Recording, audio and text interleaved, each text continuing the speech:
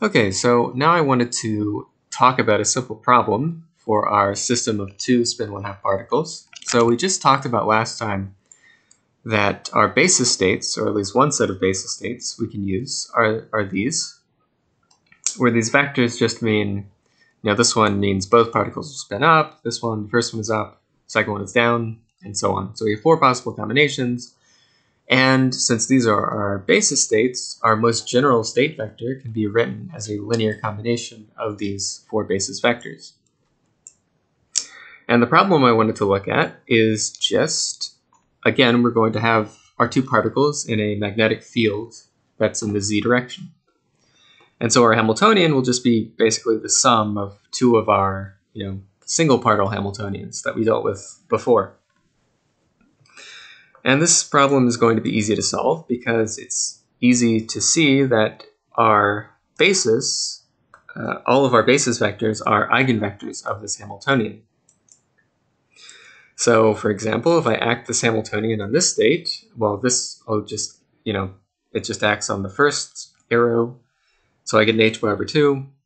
This one acts on the second arrow. I get another h bar over 2. So they add or well, subtract. So I get a total of minus gamma b h bar. So it's an eigenstate. For these middle two terms, for one of these I'll get an h bar over 2, the other one I'll get a minus h bar over 2, so they'll cancel out, so they'll have eigenvalue 0. And then lastly, it's opposite. I get a gamma b h bar. So um, that's really good that our basis that we've expanded our state in is uh, you know an eigenbasis, or they're all eigenstates of the Hamiltonian because we can solve a problem immediately. All we have to do is say you know this is our initial state.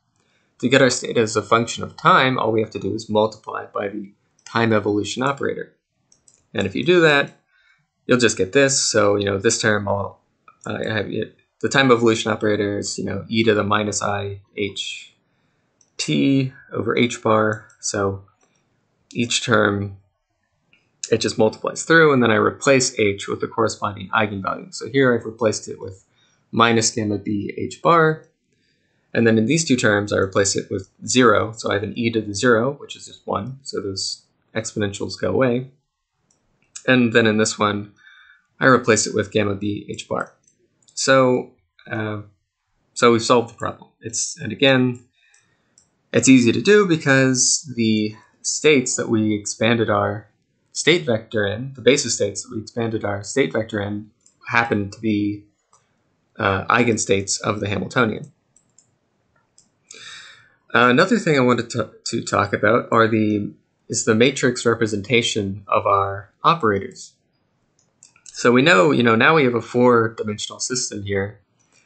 So our matrices should be 4 by 4 matrices. And the question is, how do we, you know, I have my Hamiltonian here, how do I see that this is represented by a 4 by 4 matrix? Because all I've written here is that my, you know, S1z is a 2 by 2 matrix, and so is S2z, and I have one minus the other one.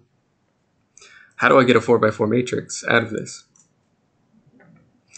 Well, this is why last time I talked about the Kronecker product stuff. So when I write this down, really what I mean is this.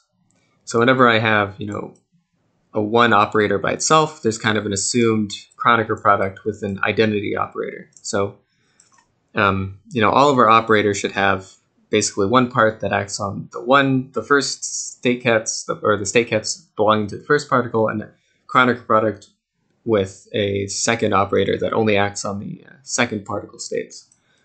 So when I write this, there's, you know, I mean that it's Kronecker product with an identity.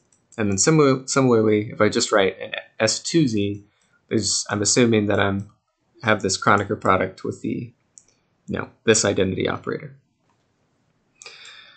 So this is uh, uh, what we needed to, see because uh, these are both 2 by 2 matrices, are represented by 2 by 2 matrices. So if I do that, you know, I get this. And now I have the Kronecker product of two 2 by 2 matrices. And the Kronecker product of two 2 by 2 matrices gives you a 4 by 4 matrix. Now, um, I'm not going to explain how you actually do the Kronecker product. In fact, I'm not actually sure. But you can go and just Google like a Kronecker product calculator and just plug in these matrices and it'll do it for you. And if you do that, you will get this.